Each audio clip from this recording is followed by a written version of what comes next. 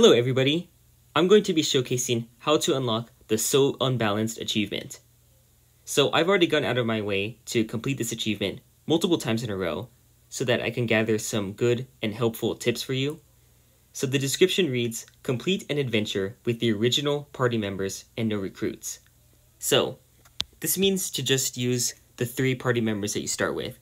So if I was to start with Raiksun, then that would be fine. I don't have to worry about starting with specifically the first three companions that you get throughout the entire game. I can use anybody that I want, as long as I don't get a fourth one. But I'm going to be using the same three that I always use. I know, boring, but it doesn't matter, because I'm going to be using other companions later. I just like using these starting three companions, particularly in Krumthak's Dominion.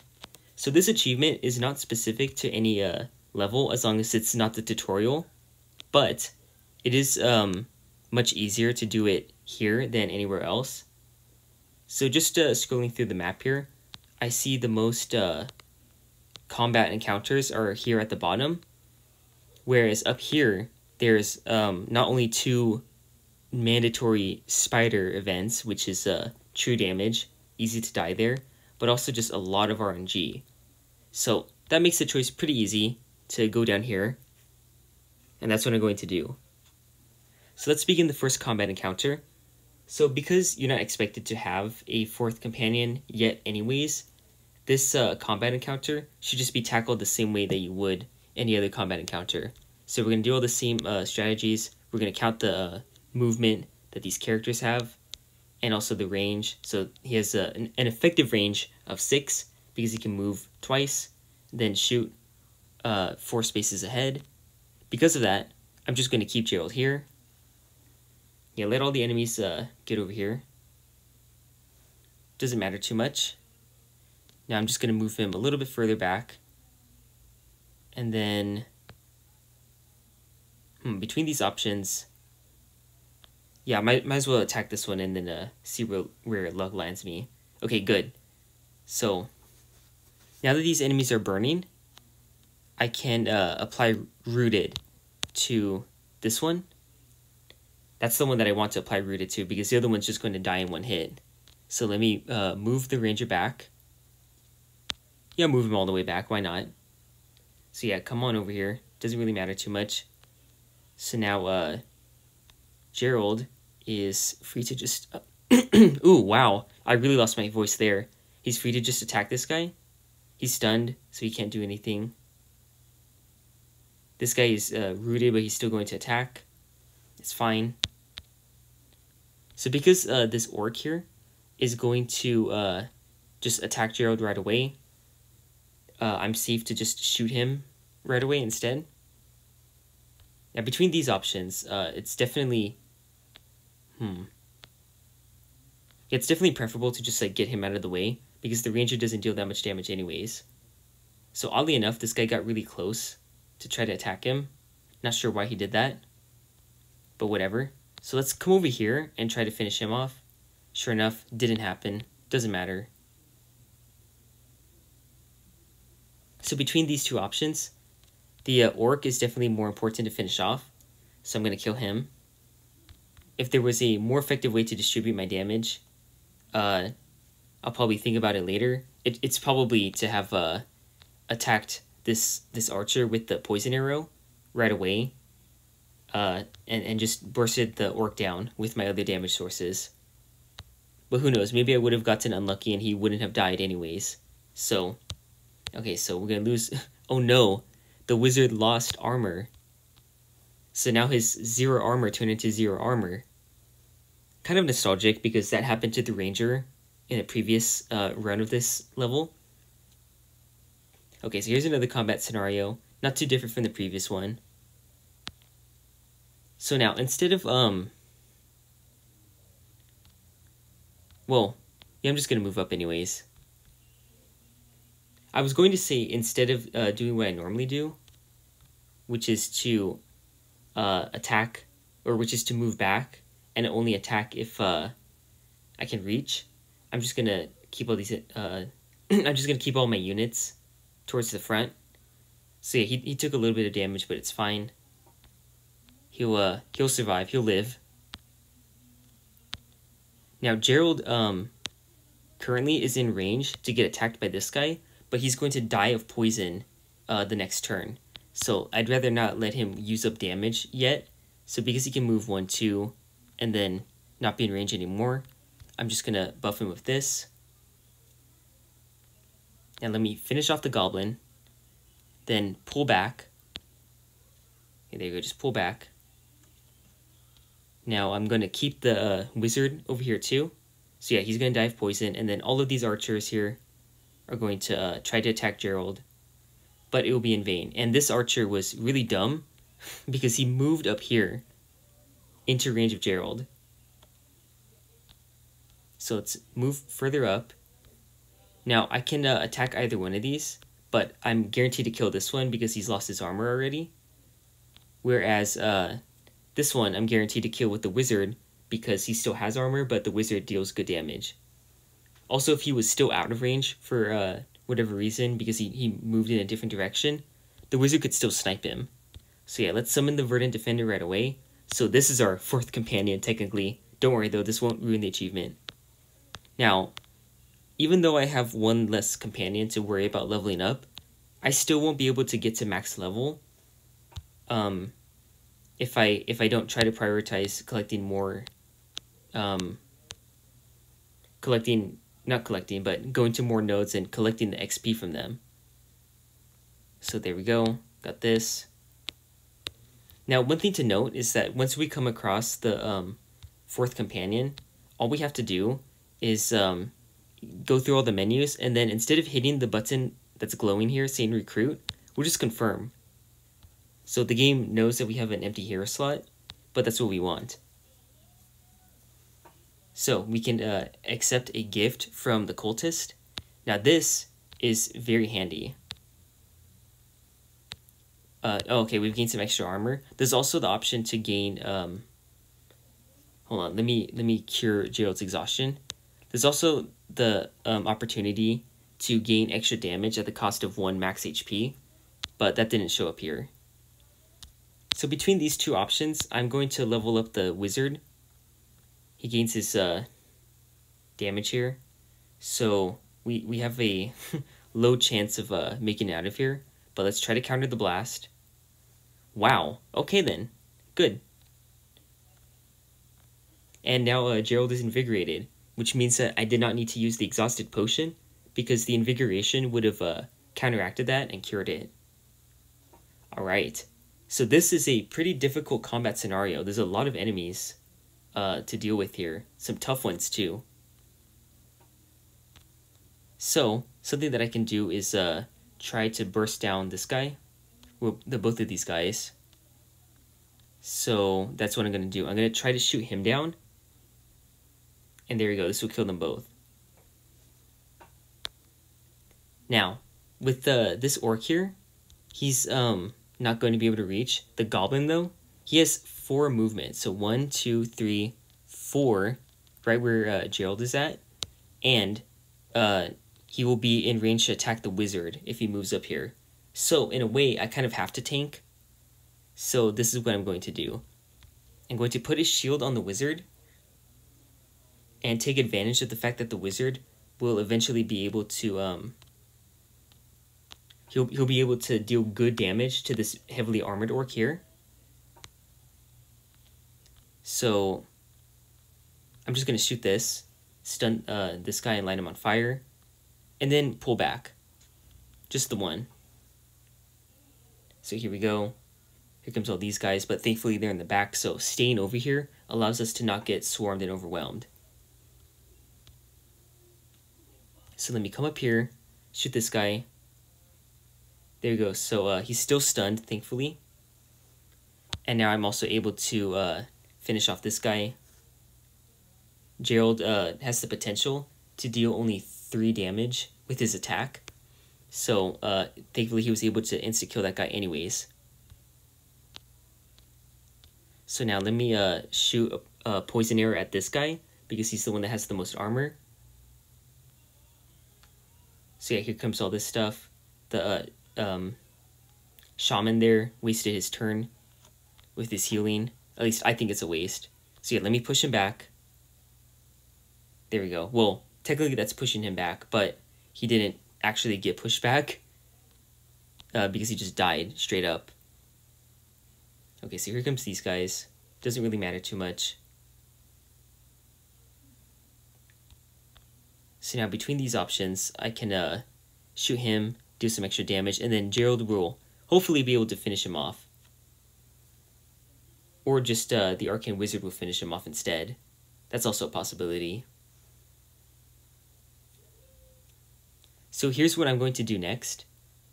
I'm going to um, move the Arcane Wizard in such a way that uh, the Shield of Retribution is going to be used up uh, next turn. So let me uh, move Gerald down here, and I'm going to buff himself with this. So now look, the enemy, they love to prioritize, uh, they, they love to prioritize the hero instead of any other companions. But this guy will prioritize the Arcane Wizard and then get himself killed. And there we go, now we can finish this encounter.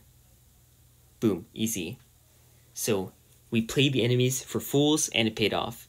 And that was our uh, first combat with only uh, three companions after having already unlocked the option for more. So now I'm going to move up. Yeah, chances are that uh, something bad could happen here. Luckily it didn't, and I'm invigorated now. So let's come up to the tavern. So I can talk to the patrons and get some uh, some either helpful tips or just uh, um, puns from them. Yeah, sorry, for some reason I can't think of the word. I'm recording this kind of late at night. I'm about to go to sleep. It is my bedtime. But I wanted to um, record this video first. So, there we go. Party got uh, damaged a little bit, so let's go down to this node and see if we get damaged even more. Let's gather some berries. Okay, good. Nothing bad happened. Gained 1 max HP. That's always nice to see. So now between my options, I'm definitely going to go for uh, Avenging Blade because that's Gerald's best skill. His um, AoE attack, the second ability, is also pretty good when you have a limited party because you can deal with multiple enemies, but I prefer it like this. So now with uh, with my remaining options to either buff Gerald again, buff the Ranger, or to buff the Arcane Wizard, I'm definitely going to buff the uh, Ranger, especially because he's invigorated right now. Ricochet is going to do a lot of good for us.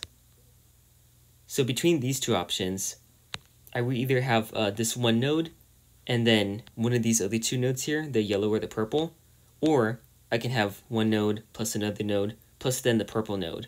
So I will lose the opportunity to go to the shop, but I will get to um, get more experience points.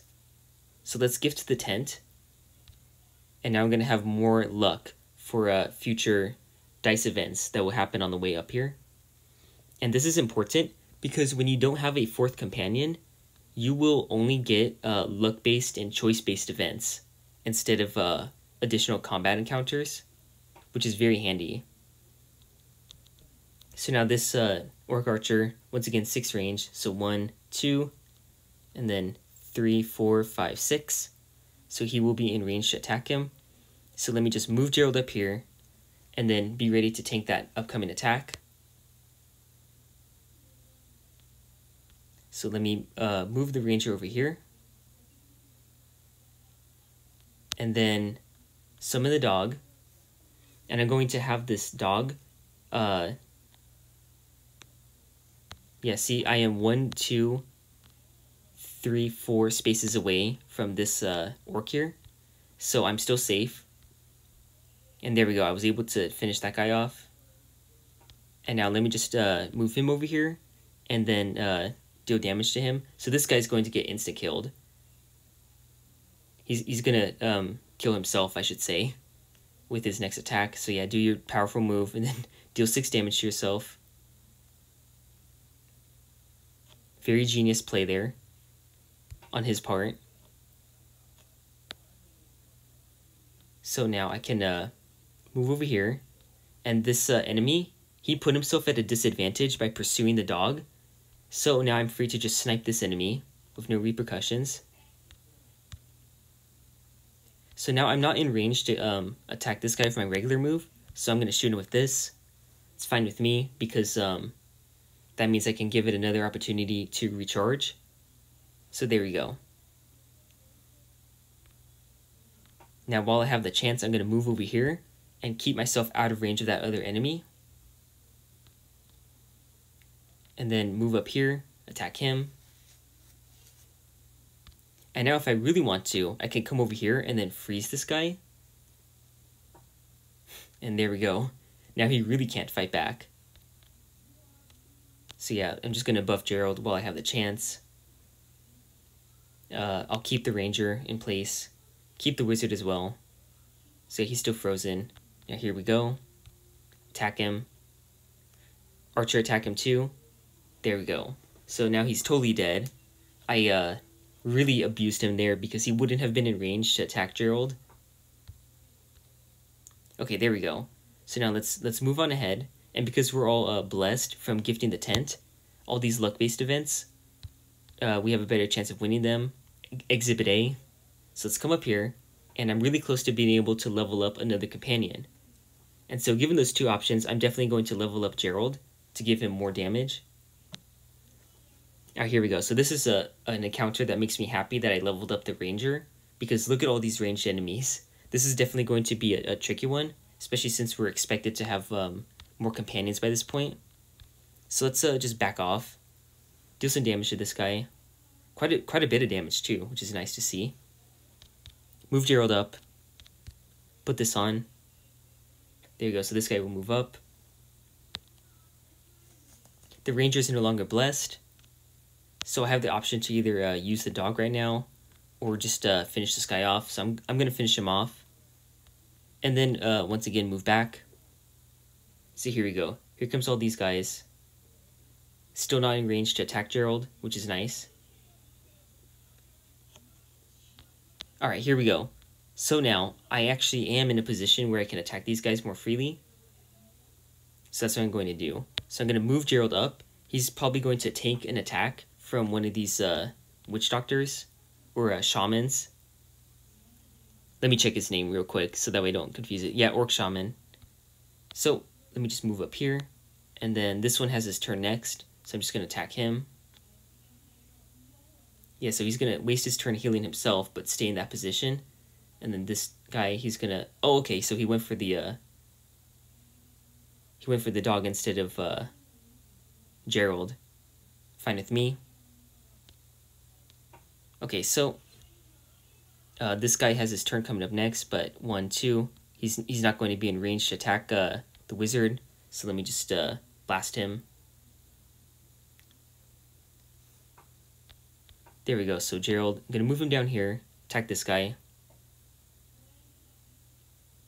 Now look at all my options. I'm gonna move down here, and then uh, take out this wizard as well because he deals um, magic damage and I'd rather have uh, Jill take damage to his armor. Now, of course, he's still going to lose some HP, but just not as much. Now, if I move the wizard up here, there's a chance that he could get uh, attacked by the orc. So instead, I'm going to move him down here, and then uh, try to finish this guy off. So I do have a 1 in 4 chance of not being able to do that, but it was all good. So now Gerald can make use of um, Avenging Blade. So let's finish him off with, with a dab. There you go, 12 damage, wow. So now if I just uh, move further up ahead, I will be able to attack this guy. Now this is kind of risky, so I'm gonna move down here so I'm safe. And then there we go, so this guy's gonna attack Gerald again. Wizard, deal some damage to him, good.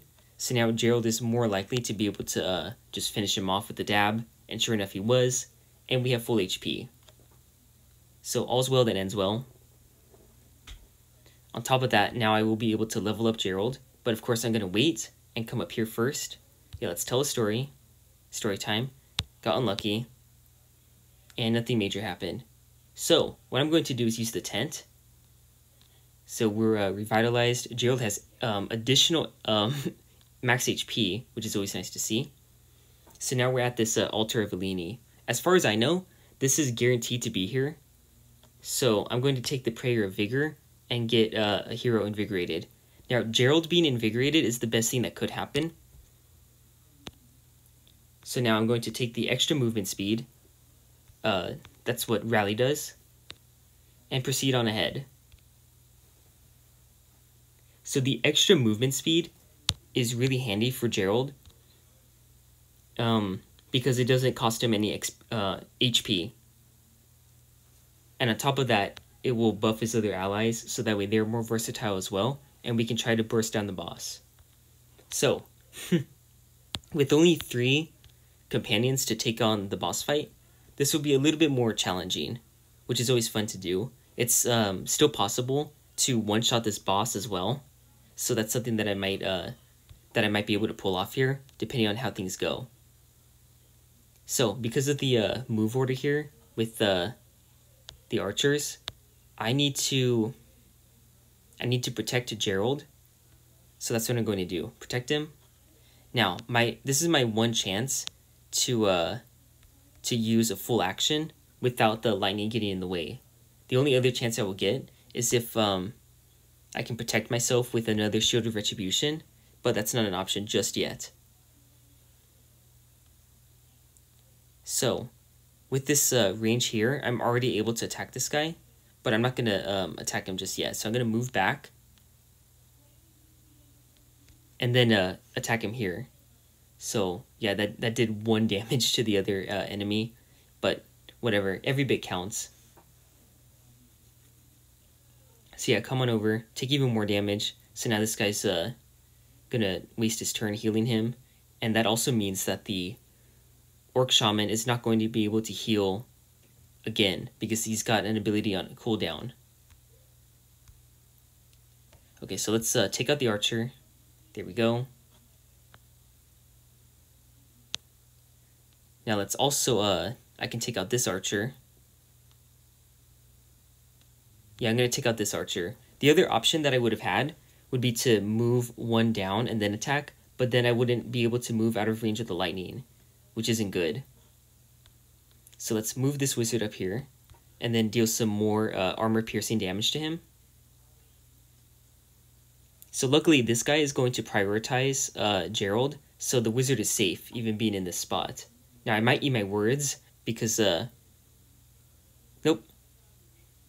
I, I wouldn't eat my words because uh, by saying that I might eat my words, it, it caused me to um, change what I was saying and therefore the thing that would make me wrong is if he didn't go for the wizard anymore. So, good thing I said that. Okay, uh, I might as well just attack him with the dab because it does more damage than his regular attack. Now, this guy is safe. So I'm just going to uh, hit both of these guys here. There we go. Now, I'm not really in a good position either way, so let me just uh, move back and then attack him. Yeah, finish him off. Yeah, use up your Thunderbolt, it's fine. So Gerald is going to take some HP damage from the Witch Doctor. The Orc Shaman, I keep calling him the Witch Doctor. But that's fine. Like, go ahead, da damage him all you want.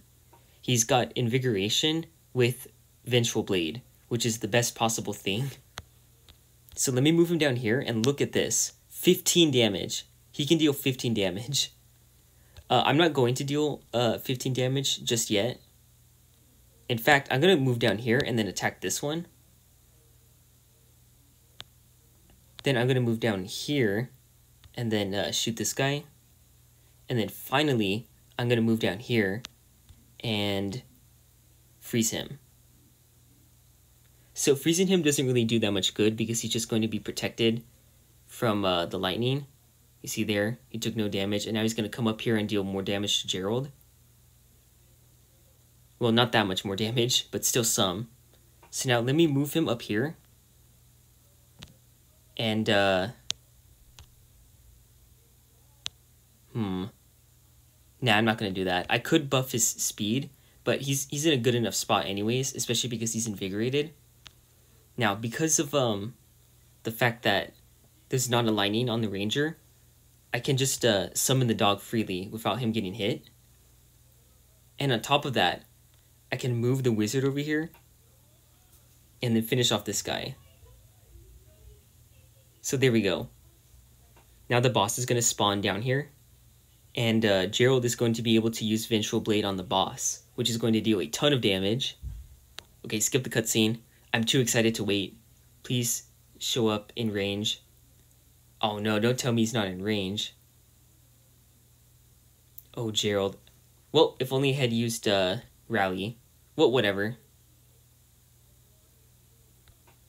So even though I'm uh, in the Lightning Blasts, let me just uh, move over here. Now I can use uh, Rally. So there we go. Shoot him down. Then move all the way up here. Now look at how much movement the dog has. Isn't that beautiful? Just beautiful. Taking up the whole map. Five movement. Okay, so that guy's going to turn into an abomination. Whatever. So I'm going to move down here. And I'm not able to uh, shoot him, so I'm just going to blast him with all these attacks. Yeah, yeah, turn into an abomination. Doesn't really matter.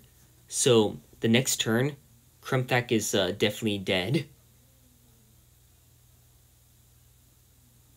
Yeah, come on, hurry up. He's probably going to spawn on the right, if I could make a guess. Okay, good. So now I, I forced him to spawn on the left so that he I could be wrong again. So now let me uh move Gerald. I'm just going to move him up here. Now let's use Vengeful Blade. 16 damage now. So boom, 16 damage. Move the ranger back. Hit him, and there we go, 7 damage. So that was already a uh, overkill, but I could also have hit him with the wolf, which would have done an additional 2 to 4 damage. And then I could have hit him with the wizard, which would have done an additional 6 damage. So this boss was uh, long dead. So even though I only had my three companions, and I didn't even have them all at um, level 3, because imagine if I had Disintegrate on the Arcane Wizard, then things would be going even better. But even under those uh, limited conditions, this was a cakewalk. Nobody died. Uh, it was it was somewhat lucky because of all the things that happened to me. But in my previous runs here, I got pretty bad luck and was able to do this just fine because I was using all the strategies that you should use um, no matter what.